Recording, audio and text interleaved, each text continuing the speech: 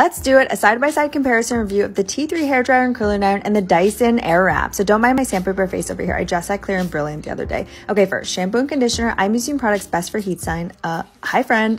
then it's my usual post-shower routine. Rose water and hair growth serum followed by a heat protectant blowout cream. I'm going to divide my hair down the middle and style one side with the Dyson Airwrap and the other with the T3 Featherweight Hairdryer and the T3 Twirl Trio 1.75 barrel.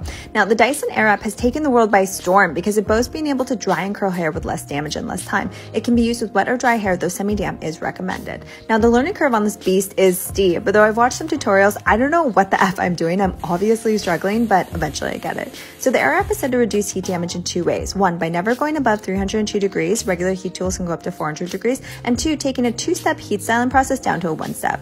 So the process is a bit frustrating at first, and I struggle to get the Airwrap to grab my hair. This is my second time using it, and I opted to dry my hair to 70% dry. It seems to curl and dry down the mid shaft really quickly, but near the crown of my head, it still feels damp. So I decided to go over the curls with the round brush attachment, which I really like to finish drying it, soften the waves, and create volume. Uh, I definitely need more practice.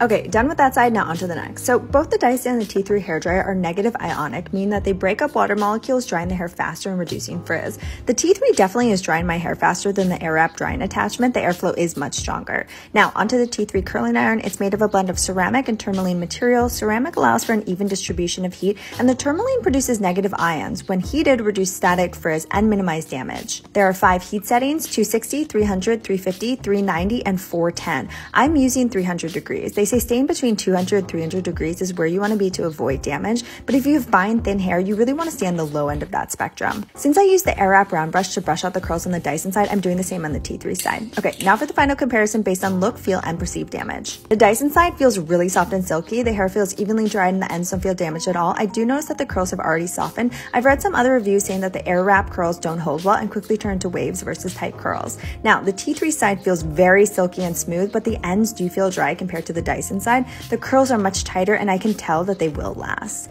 Now, when examining everything from the back, I do notice that the T3 side is shinier and sleeker compared to the Dyson side, which is not surprising since curling irons press down strands, creating a smoother finish.